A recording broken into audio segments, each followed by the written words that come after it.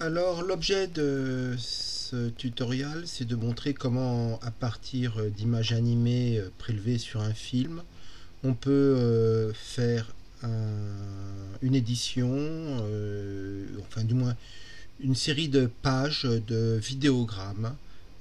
Et pour cela nous allons aller nous allons utiliser Premiere ou After Effects hein, indifféremment et Adobe Media Encoder et ensuite Photoshop pour euh, faire des planches contact. Alors pour euh, cela, ben voilà, nous sommes sur un projet première et euh, nous allons définir des points d'entrée. Donc on se met sur son écran et on va choisir par exemple ça.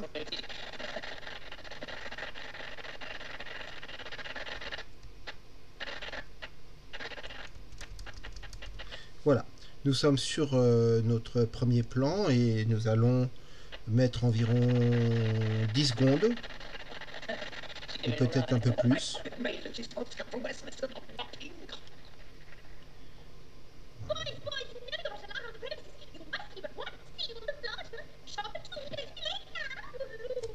Voilà, et nous allons sortir ici. Voilà, ça c'est notre dernier plan. Donc euh, nous voyons que nous avons notre espace de, et notre séquence et nous allons euh, la déposer et on peut la rejouer hein, voilà, différemment. Naturellement je l'ai mise sans le son parce qu'à ce moment là on n'a plus de son. Et voilà, comment je vais pouvoir sortir maintenant euh, toutes ces images euh, sur un répertoire.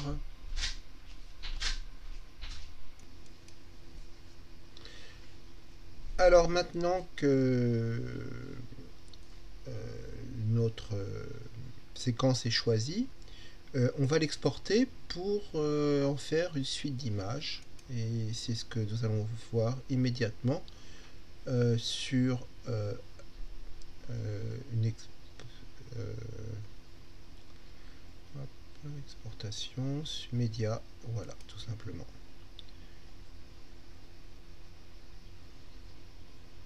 Alors là, on est sur Media Encoder. Il va nous, il va nous demander de l'envoyer à Media Encoder. Ça va être beaucoup plus simple.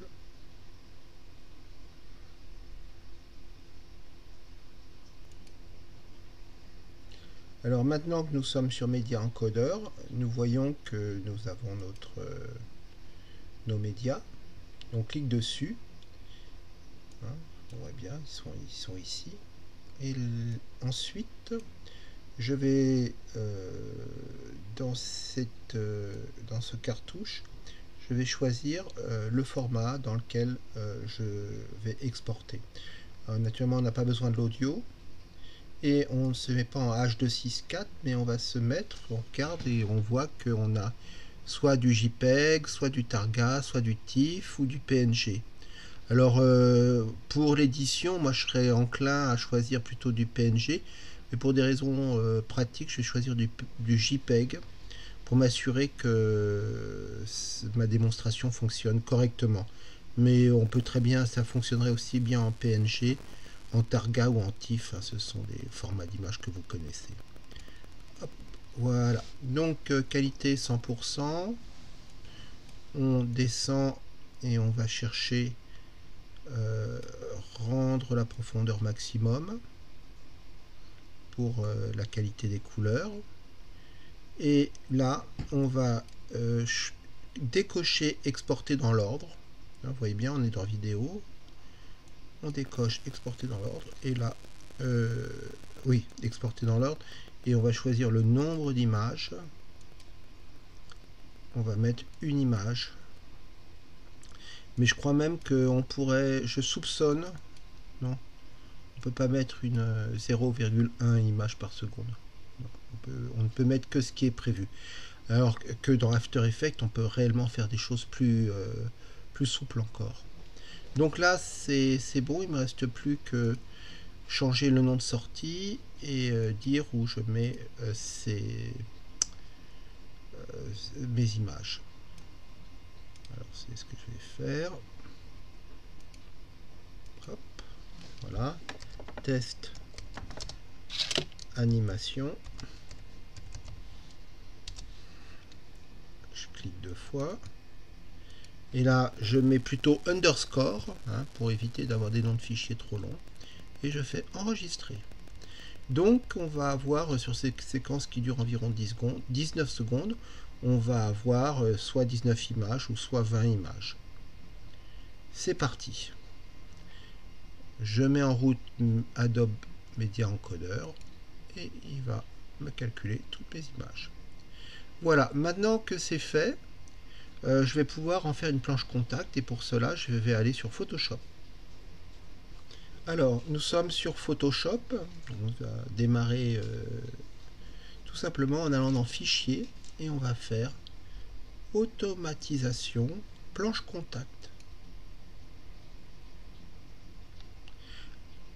Alors, un cartouche apparaît et là, on va déjà sélectionner le dossier avec lequel on travaille. Donc, vous vous souvenez que c'était sur le bureau, ça s'appelait test.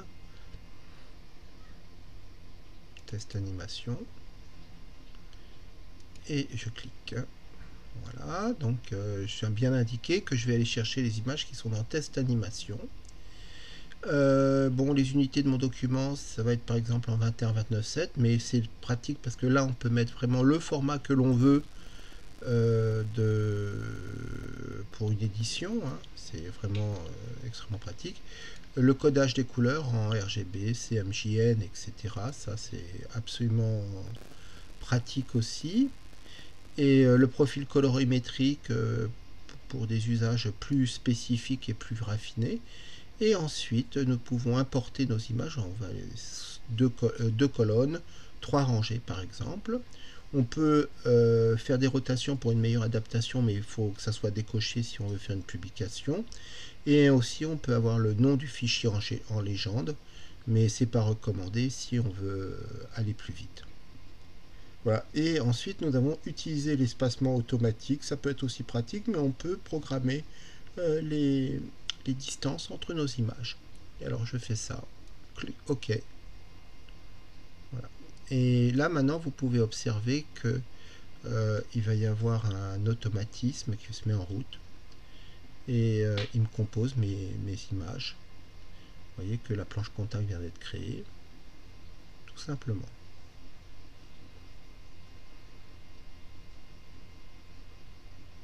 Voilà, et donc euh, j'ai ma planche contact qui est réalisée. Alors naturellement, ce que j'aurais pu faire aussi, c'est euh, aller dans mon browser et euh, fouiller et sélectionner les images qui m'intéressent avant de faire cette opération. Vous voyez bien que j'ai toute ma séquence et donc j'aurais pu très bien euh, explorer cela. Voilà, donc euh, maintenant je, viens de vous montrer euh, le fonctionnement de la planche contact, la possibilité de faire un export sur Audio Media Encoder et maintenant je vais vous montrer la même opération mais sur After Effects qui à mon avis est plus pratique.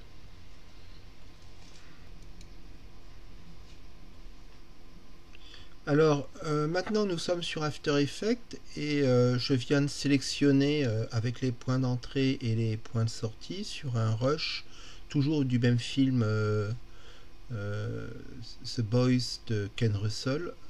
J'ai sélectionné une séquence que je vais mettre sur, dans ma timeline.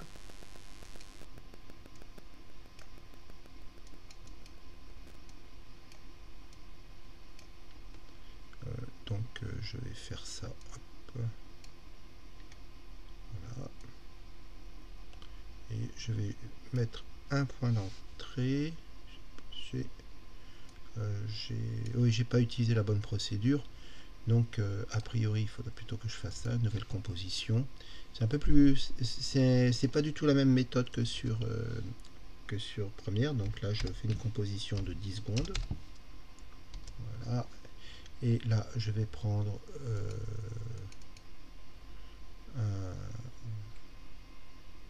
composition. Je vais placer euh, mes images indifféremment. Enfin, c'est comme je veux. Là, naturellement, je n'ai pas soigné la question du format. Vous voyez que la question du format se décide directement sur euh, After Effects et, et donc il faut vraiment penser en pixels hein, quand vous préparez ce genre de choses. C'est-à-dire que vaut mieux avoir une, la meilleure définition possible sur votre vidéo pour pouvoir euh, convertir euh, les vignettes euh, dans un format imprimable, hein, ne pas avoir trop d'échelle. Et bon, là on voit que notre affichage n'est pas un affichage intégral. Là aussi on a un affichage intégral. On a une, une meilleure qualité de présentation. Et voilà, donc je vais pouvoir avoir mon, la possibilité de faire mon export correctement. Sur 10 secondes et vous allez voir que je vais avoir plus de souplesse euh, à la sortie. Donc ce que je fais, c'est que je fais composition, je vais ajouter à la file de rendu. Et en regardant le cartouche de la file de rendu, vous allez voir que c'est assez magnifique. Alors euh, en dessous de ma composition, il y a le cartouche de file de rendu qui vient d'apparaître. Et je vais dans paramètres optimaux ici. Regardez bien. Voilà, et euh, je vais utiliser, utiliser une cadence d'image. Et là, je peux mettre ce que je veux. Je peux mettre 0,2 exemple. Donc ça va me faire, euh, bah, c'est 0,2 euh, images par seconde. Ou, ou, je peux mettre une image par seconde ou deux images par seconde, mais ça, vous avez vu, Premiere sait le faire, hein, enfin Adobe Media Encoder sait le faire. Mais là, ce qui est magnifique, c'est que lorsque votre film est un peu lent, un peu long, et que vous avez une heure et demie de film complet, vous pouvez mettre votre projet d'une heure et demie. Hein, vous pouvez, After Effects ne vous interdit absolument pas d'avoir des, temps très très longs. Et là, vous pouvez euh, mettre 0,2 euh, et ça va faire, ça va faire l'affaire. Voilà, donc là, on est en affichage intégral, 1920 par 1080.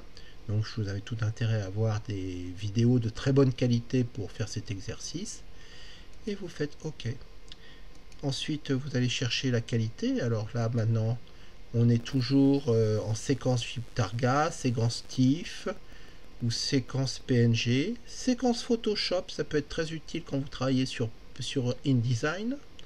Ou vous pouvez même, euh, à ce moment-là, euh, si vous faites des incrustations, on pourrait très bien imaginer que à partir des incrustations ou des sélections de zones de masquage sur After Effects, vous pouvez sortir euh, des couches alpha, des couches de, transparence.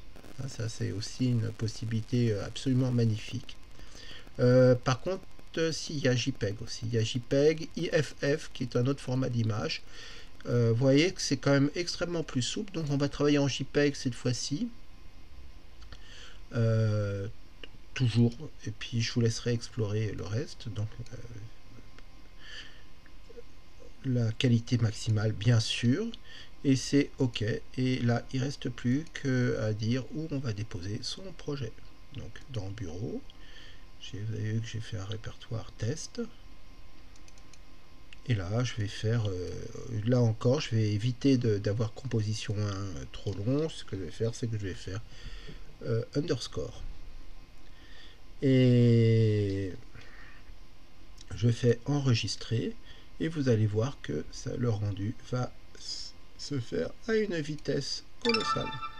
Voilà. Donc si j'ouvre mon répertoire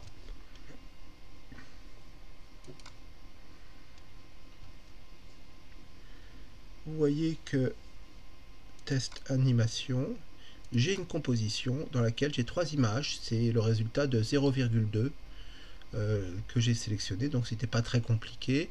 On va essayer d'autres euh, euh, d'autres variables. Donc composition, ajouter à la file de rendu. Vous voyez, on retourne en paramètres optimaux je fais 0,9 euh, on est proche de 1 toujours la composition. Donc ça va s'appeler euh, composition 2. Ah non, c'est en QuickTime, oui, il me propose le QuickTime, donc il ne faut pas que je fasse cette bêtise.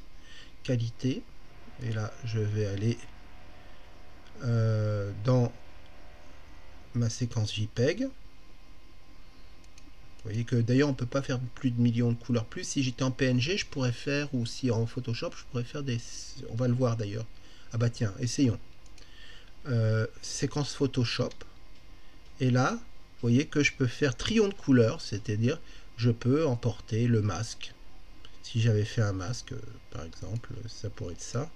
Comme on a des couleurs bleues, on va dans Effet, euh. Ah non, c'est pas, c'est pas ici. Enfin, c'est pas, c'est pas maintenant qu'on peut le faire. Il fallait que je le fasse plus haut. Donc, euh, on va garder la fonction séquence JPEG. Voilà, et là, on va aller refaire une nouvelle composition.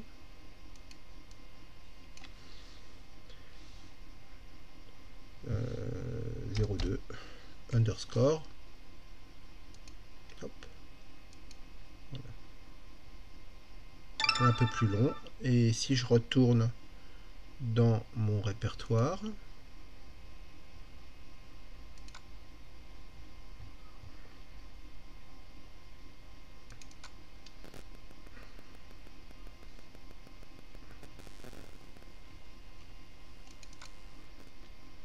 Voilà, j'ai beaucoup plus d'images que tout à l'heure. Alors ça me donne une idée euh, formidable, les, systèmes d'incrustation, parce que si j'avais incrusté par exemple sur le bleu, j'aurais pu superposer les images avec d'autres images euh, ultérieurement et euh, fabriquer des choses étranges. Voilà, donc c'est comme ça que ça fonctionne pour pouvoir passer finalement de l'image animée à l'image euh, la séquence d'images dans une édition. En espérant que vous aurez apprécié ce tutoriel. A plus tard.